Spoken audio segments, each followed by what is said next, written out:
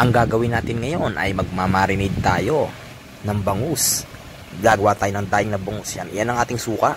Siyempre, pag ang ating suka, lagyan naman natin ng bawang. Ayan, ang bawang natin. Yan yung ating ipang mamarinade sa ating bangus. Gagawa tayo ng masarap na daing na bangus. Ito po, Morris TV version na naman po yung ating ginawa kasi iba po yun sa ginagawa ng iba. So, yung iba kasi nilalagyan nila asin. So, mapapansin nyo, patis yung nilagay ko. Ayan, iyan naman po ang ating pamintang durog. Ayan. Ating nang ilagay yan at ang ating halu-haluin. Oh, bango nito sa ano, sa bangus pag binabad natin yung bangus, pag binarinade na natin yung bangus. Kasi pipirito na natin yung ating bangus, sobrang bango niyan. Nakakatakam. Ayan. Siyempre, pagkatapos niyan, lagyan na natin siya ng patis. So, imbis na asin yung ilalagay ko, patis yung nilagay ko. Ayan. Dalawang kutsaritang patis. Ayan ating ilalagay dyan. Ayan ating haluin ng mamix. Nang mamix ang lasa ng patis. I-mix lang natin yan. At syempre, ang aking secret na ilalagay ay ang ating toyo. Ayan, lagyan natin siya ng isang kutsaritang toyo lamang. Ayan, at ang ating halu-haluin. Halu-haluin lamang. Ang bango, nakakamig ko na yung bango, syempre. Ayan, ang bango-bango. Syempre, meron din tayong chili garlic. Ayan, lalagyan ko siya ng chili garlic. Sa mga mahilig sa maanghang dyan, ayan, chili garlic po yan, ayan. Ilagay lang po natin ang ating chili garlic. Halu-haluin. Halu-haluin ng mamix. Ayan, napakasarap ng ating pang marinade na to. Ayan, imamarinade natin yan. At ready na nga ang ating pang marinade sa ating napakasarap na daing na bangus. So, iano ko siya ng 8 hours. 8 hours ko siyang imamarinade dito. Ayan, halu-haluin lamang. Siyempre, ito yung ating bangus. Isang kilo yan. Isang kilong bangus. Oh, as sarap nito sa ipirito. Pag naaamoy natin yung pinirito nito, talaga naman pagkasarap. Ayan, atin na siyang imamarinade. Ganito yung ano ng pagmamarinade ko. Um, ayan. Siyempre, ilagay natin yung bangus. Kailangan yung bangus pataob para masipsip niya yung lasa nung ano, nung ating pang marinade. Ayan, pataob lamang atin lamang yung itaob-taob na ganyan. Ayan. Syempre yan dami. Ko ang pagkasarap nito. Syempre ibubuhos na natin ang ating pang marinade haluhaluin muna konti. And then ibuhos na natin yan. Ayan na! Oh. nasa ibabaw yung mga bawang. Syempre kakalat natin yan. Tapos isisiksik natin yan sa kanyang ila ilalim ayan Oh, ayan. Ang dami, oh. Kailangan, ano, apaw yung ating pang marinade. Apaw yan, guys. Marami yan. Ayan. Para siya, ano, bad na babad. At, syempre, lasang-lasa yung sarap at linamnam ng ating bangus, ng ating daing na bangus. Talagang pag natikman itong daing na bangus kong ito, eh, talagang magustuhan yan. Gayahin nyo na yung paraan ng aking pag-marinade. Ayan, at talagang pagkasarap. Walang oras kung imamarinate dyan. Hintay natin hanggang walong oras. Ko, ari na nga, mga walong oras na. Oo, pagkabango. So, kung ari naamoy nyo, eh, talaga namang pagkabango na rin. Ano, ay babad na babad di, walong oras. Dito, gustong gusto ko ng ipirito. Eh, sa bagay, walong oras na nga rin. Ipirito na rin. Yan, ipirito na nga natin ito. Magpapain tayo ng kawali. Yan na nga yung kawali natin. Go! Yan na. Ay, talagang tilamsikan eh. Iamoy na mo yung pagsabango. Ita atin lang itong ipapa-brown. Pag ito'y brown na ituto natin. Pagkabango. Ay, talagang kabango. Yan na nga. Ay, naluluto na nga unti-unti ang ating bangus. Di ka tari pag na iulam ni talagang napaparami ang kain. Ayan, ay oh. Tilamsikan eh. Yan na nga. Kung sa nanonood diyan, itry nyo rin pagpaprito kong bangus na rin. Kaya kaya yan ikulay medyo ma ano yun iguan ng toyo. Nilagyan ko ng toyo yan kaya ganyan ang kulay ng pagpakaprito niyan. Ayan na nga. At paluto na ang ating bangus na rin. Malapit na yung maluto. At iya pa yung bagong salang na naman na rin nilagay ko nga rin. Pagka dami naman na yan, ayun na piraso. Ayan, bagong salang na ulit yan. Oh, kitang-kita mo yung mga bawang-bawang sa ibabaw eh. Oh, tsaka yung pam paminta. Eh, yan ni May, ano. Chili garlic, kaya hindi ng kulay. Nilagyan ko rin ng toyo. Ayan, oh, pinagbabarang ko. Talaga namang babad na babad. Eh. Talagang sarap na sarap nito pagka ito yung ano. Ayan, at luto na nga yung isang ari. Kung pang ilan na gari, ito. Pang anim na ito eh. Kung atin ang kainin yan, luto na. Ayan, at welcome back sa aking channel. Ngayon, ngayon nagluto tayo ng daing na bangus. Ayan, ang laki. Ayan, bago natin kainin to, siyempre gusto mo nung salamat sa aking mga viewers. Thank you so much sa inyo lahat. Maraming maraming salamat. Ayan, I appreciate it. And siyempre, bago mag-pray muna tayo. Uh, Lord, thank you so much sa pagkain na to. I-bless niyo po ang lahat ng mga naghihirap. Nagkaroon makakain. Thank you so much, Lord. Amen. Ayan. Kaya na tayo mga kaibigan, mga tropa, mga kamoris. Tikman natin itong daing na bangus na niluto ko. Ayan, tikman natin.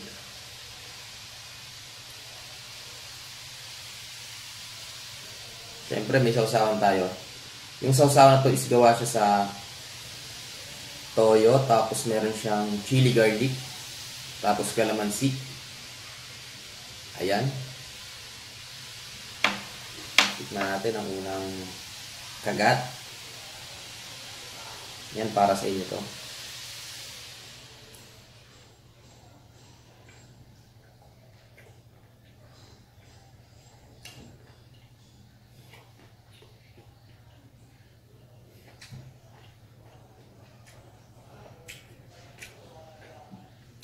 Sa unang agat ko lasan-lasa yung anghang niya.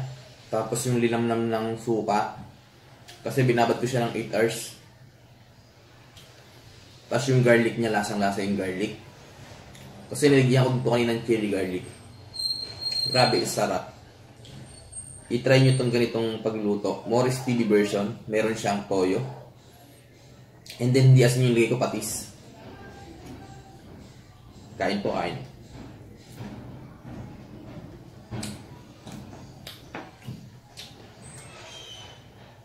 Hmm.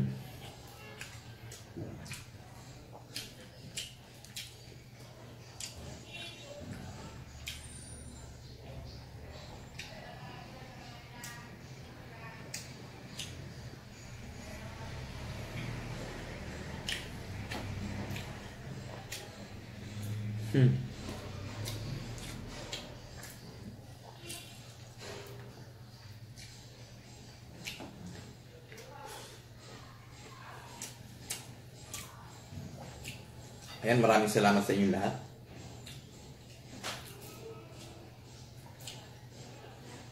Grabe ang sarap nito.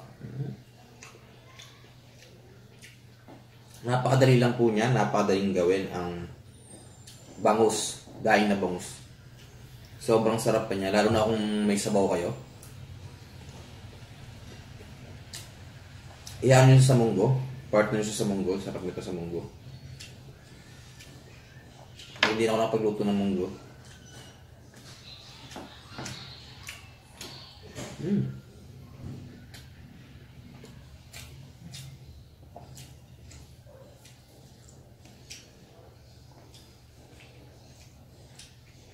Kain po.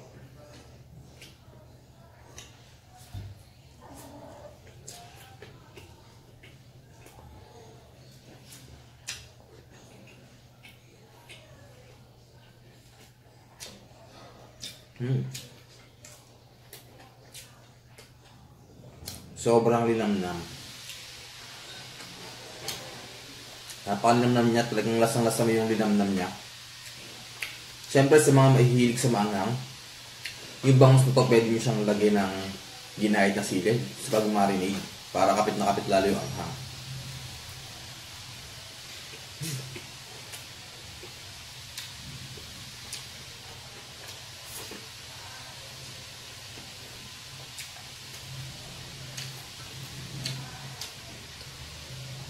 Dahil na bangus.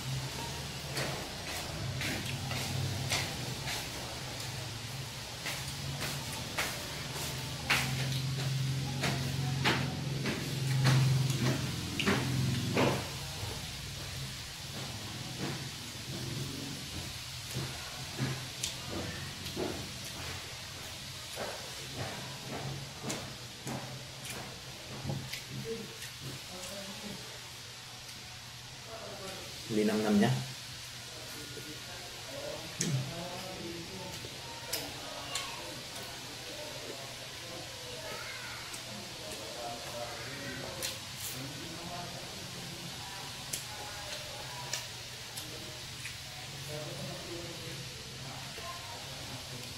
Kasabay mo pa ng ano, masarap na inumin.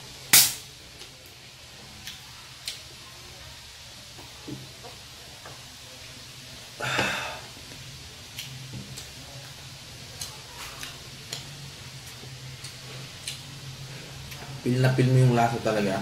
Talagang nanunot yun sa naman. Mas masarap siya, mas matagal siyang i-marinate kasi ano, lalasa talaga yung mga garlic niya, yung paminta niya. Yung chili garlic, nilagyan ko din yung chili garlic kanina. Mm.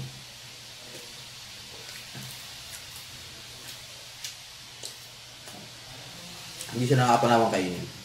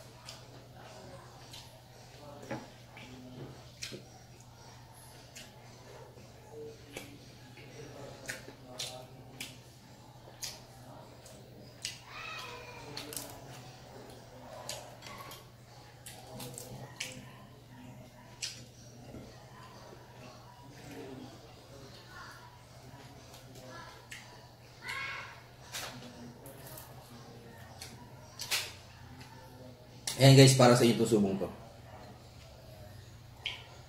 Sa mga naglalaway dyan, pasensya na. Kain po tayo.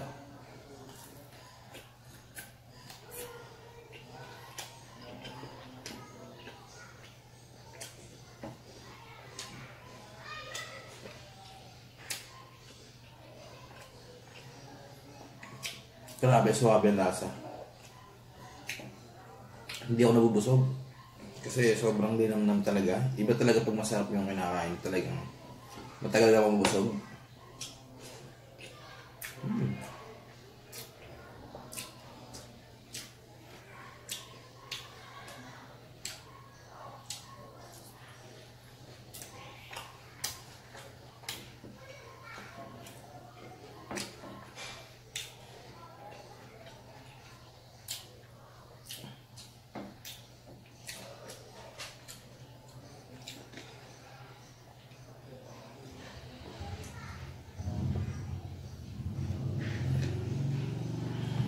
Yan, sana may natutunan kayo sa aking bagong recipe na ginawa.